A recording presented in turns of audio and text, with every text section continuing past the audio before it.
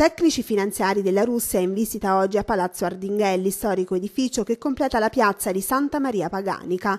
La Russia ha già versato 3 milioni di euro alla regione Abruzzo in base ad una convenzione firmata con il governo italiano che prevede un impegno di spesa da parte della nazione di Putin fino a 9 milioni di euro. Loro hanno già versato 3 milioni di euro alla regione Abruzzo per questo lavoro. Abbiamo una promessa di finanziamento che arriva fino a 9 milioni di euro. Saranno sufficienti sicuramente. Al progetto per il recupero di Palazzo Ardinghelli sta lavorando la sovrintendenza assieme all'ufficio del vice commissario Marchetti.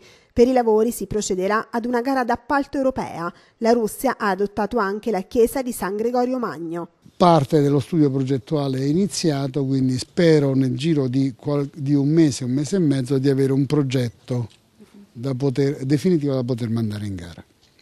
Abbiamo detto di fare una gara internazionale una gara europea, quindi sarà, eh, noi possiamo fare la gara europea con alcune semplificazioni dovute alle deroghe che abbiamo e quindi poi eh, daremo un termine di 15 giorni per la presentazione delle offerte. Costruito nella seconda metà del 1700 dalla famiglia Ardinghelli, il palazzo si affaccia sulla piazza di Santa Maria Paganica, sede del comune negli anni 70-80, poi viene rivenduto da un privato al Ministero dei Beni Culturali per 4 milioni di euro. L'acquisto perfezionato a fine 2008, pochi mesi prima del terremoto, doveva dare sede all'ufficio regionale per i beni culturali.